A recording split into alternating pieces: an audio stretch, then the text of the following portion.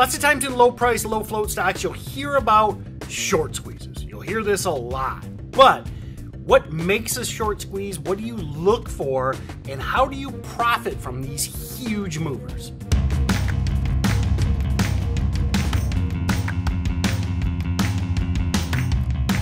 Everyone, lead trainer with StocksToTrade, Tim Bohen here. Be sure to like, subscribe, and share with your friends. We put out a ton of videos. I want you to be notified immediately as soon as we drop one, so ring that bell. And then also, if you're looking to take that next step, to take your trading to the next level, I love that you're here watching these videos. We put out a ton of stuff that I think really will help you, but Check out the Steady Trade team, twice daily webinars from me, Mike Huddy, Kim Curtin, Matt Monaco, a growing list of mentors out there that give you that shortcut to success. Talking about longs, talking about shorts, talking about options, talking about high price, low price, tons of stuff, different approaches. It's the best way out there to learn trading in the minimal, minimal amount of time. So, all right, let's talk about what is a short squeeze, what do we look for, and how do we profit from it. So, I've got the chart of Kodak up. This is kind of one of probably, oh, I hate to say the best, but one of the best examples of a short squeeze, and this happened back in July of 2020. And you can see the stock gapped up from four to eight, but what I want to talk to you about is where the real opportunity was on day two. Okay. That's what's great about these setups is they're telegraphed. Okay. The best short squeezes, the best supernova, because remember, many of you might be familiar with the supernova pattern. One of the reasons stocks go supernova is because short sellers add accelerant. Okay, that's that's always the best way I can think of it, and the best way I can explain it is I mean, most of you understand, hopefully, you understand what happens when you dump gasoline on a fire. Don't ever do that, by the way. if you're trying to get a start, fire started, get some dry wood or something. Don't put gasoline on it, okay? Little tip, safety tip for you there. You don't want to burn your hair off, but looks like I burned most mine off, but that's just baldness. Anyway, um, so what you've got with any momentum stock. So Kodak had news. Um, they they closed a loan with the federal government. They were pivoting into coronavirus type vaccine uh, distribution, etc. So there was a catalyst. Okay, number one, and but then what happens is when the shorts pile in, that catalyst is like the embers of the fire. The fire is burning. But when shorts come in, it's literally like dumping gasoline on the fire because then it just goes out of control. And that's how you get this $4 to $60 in two days. Because what happens is when these stocks start spiking wildly, shorts are forced to panic buy. Okay. And this is one of, and this is why I want to do this video to explain this stuff. Many of you have probably been trapped long in a stock that morning panicked, you know, maybe one of these OTC stocks that that typically you know that they almost all morning panic at some point which creates great dip buy opportunities. But maybe you've been in one of these otcs it's dropping 30 40 50% and you start doing a market sell which you know something i don't recommend. We do a lot of videos on order types definitely check those out. But if you're doing that market sell you know what happens. Invariably almost invariably you'll hit a market sell you'll get a terrible fill below the bid at the low of the day, and then the stock bounces. Okay, I'm sure you, if you're if you've never been there, I hope you're never been, never will be there. But if you're a jaded old trader like me, especially getting started, you make these bad decisions. It happens. So think about vice versa on the short side. When the stock is rapidly going up, shorts are going to panic and they're going to panic buy. So they're going to put in market buys and they're going to get a terrible fill way above the ask probably, and it's going to make the ask skip up. And then what happens is the shorts start tripping over each other as this stock rapidly spikes because they're all market buy, market buy, market buy. And I think what makes these the best setup eh, on the short side, at the end of the day, if you're selling a morning panic, you're you're getting out because you're like, oh, I can't believe I overnighted the stock. The thing with the long side is if you're in a 10 cent OTC stock, let's use, use an example, the worst possible scenario is it goes to zero. It goes from 10 cents to zero and it stops. Okay? Keep in mind, on the short side, if you short some 10 cent stock, it can go to 20 cents, which is 100% down, just like you'd be 100% down on the long side. But what happens when it goes to 15 or goes to 20 cents? Or heck, again, we've seen these stocks go to a dollar, $2, $3 in one day. Okay? So think about what's happening to shorts mentality when they see these stocks rapidly skipping up. They're panicking justifiably so. I mean, listen, I think you know, I talk about psychology a lot in the steady trade webinars. Kim Ann Curtin really focuses on psychology and emotions. But if you're short a stock like Kodak, you should be panicking. You should be getting out ASAP because what if you're stuck from 4 to 60? You're done. And you might even end up owing your broker money. It happens. Most brokers will margin you out basically. They'll they'll force buy you in before your stock goes below zero. But stocks like Kodak, sometimes there's not even enough liquidity for your broker to force you out. So you can literally end up owning owing a broker money if you get stuck in one of these. So I scared you, I warned you. How do we recognize one? Okay. So I'm going to jump to the intraday chart of Kodak.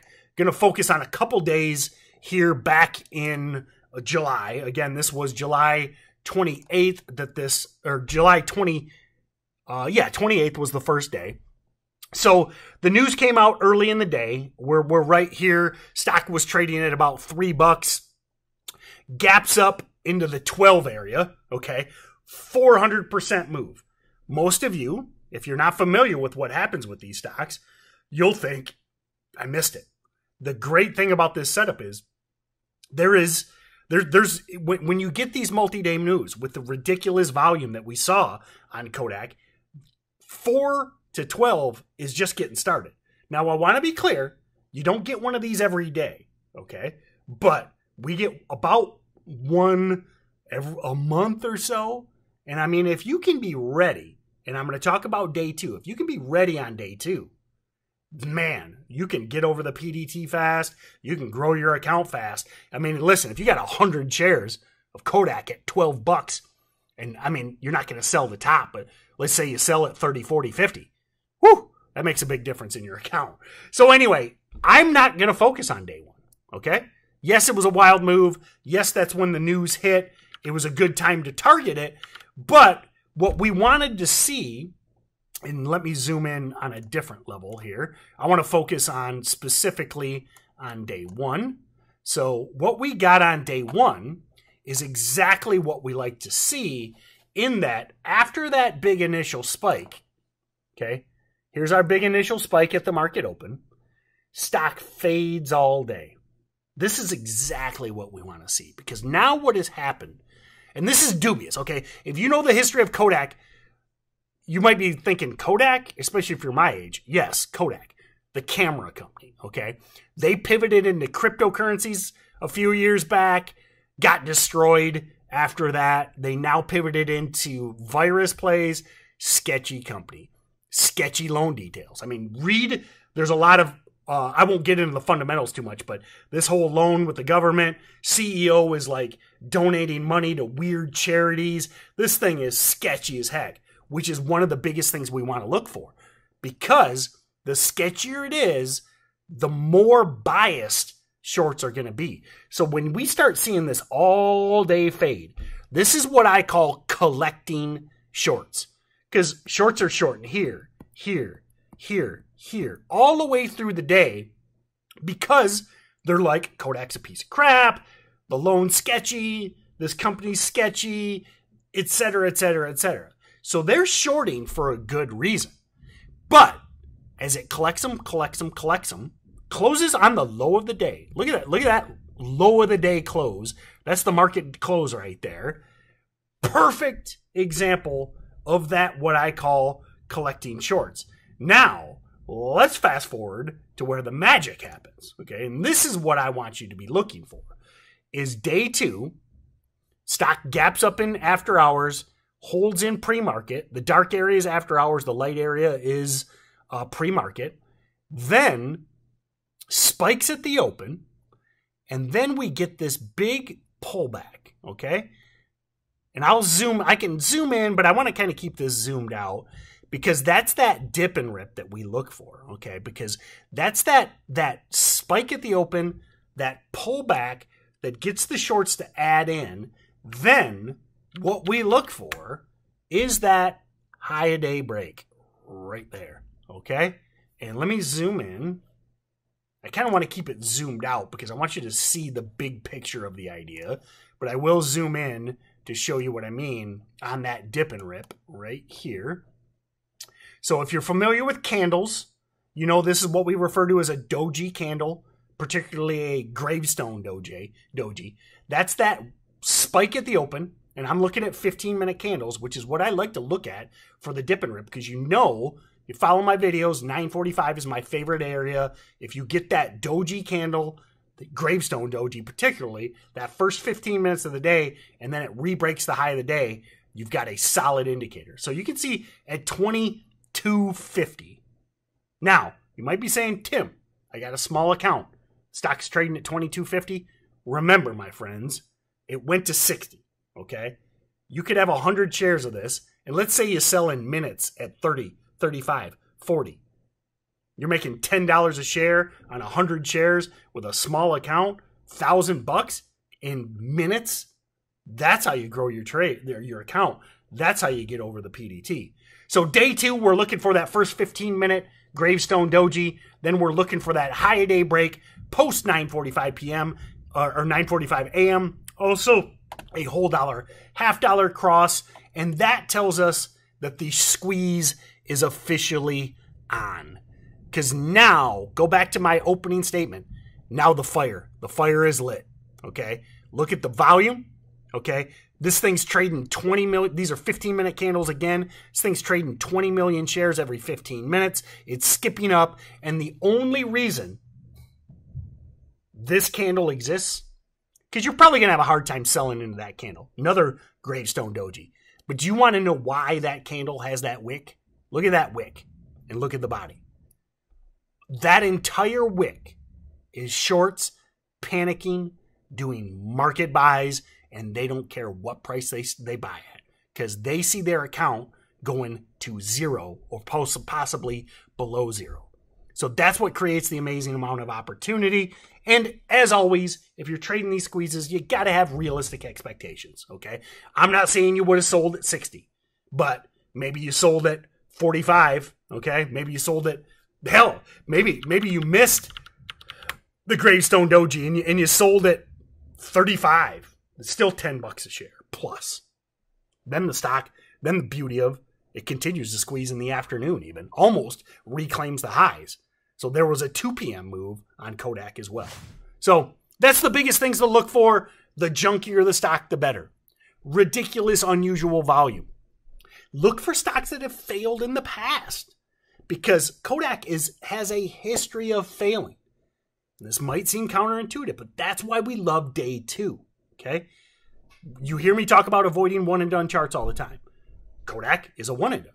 But on day two, squeeze initiated, volumes there, breaks the high of the day, does the dip and rip, does a VWAP hold in the afternoon. I mean, there's so many ways to trade these. And yes, there isn't one every day. But when you catch one, and if you catch three of these a year, let's say you're ready, you're prepared, you know what to look for, you focus on day two, day three, and all of a sudden you got three or four trades a year that may have put you over the PDT. Let's say you started with five grand, and all of a sudden you nail three or four of these. In three or four trades, you might be over the PDT. That's the power of these. And they repeat, they repeat, they repeat we get especially since 2016 ever since 2016 it's been the era of the short squeeze BPTH is one i mean there's just i could go on and on DRYS i mean there's so many of these things that went supernova and that is the best way to grow your account so all right, everyone. Thank you. I hope you're enjoying these videos. I really enjoy kind of breaking out the whiteboard and making the, you know, making the diagrams to focus on the points. Uh, let me know in the comments below. Have you traded one of these short squeezes? Um, have you recognized these? And conversely, I won't pick on you, but I'm curious. Have you ever been trapped in a short squeeze? And, and have you done that panic buying only to see the stock rapidly reverse? I mean, maybe who knows? Maybe you bought the top at 60 on Kodak, you got panicked out, and then it dropped 30 bucks a share. So let me know. I'm always looking to learn from all of you. And again, check out all of our archive of videos, talk about all these patterns. If I drop terms, okay? So if you hear me dropping jargon, check out the archive because there's probably a video or multiple videos talking about the jargon. And as always, check out the Steady Trade team. I would love to work with you. It's a small group, it's a great group. We all focus on being professional, business like. I show up in chat every single day at 6 a.m. Every day at 6 a.m. to work with the team. I look forward to seeing you on the Steady Trade team webinars at 6 a.m. So have a great day.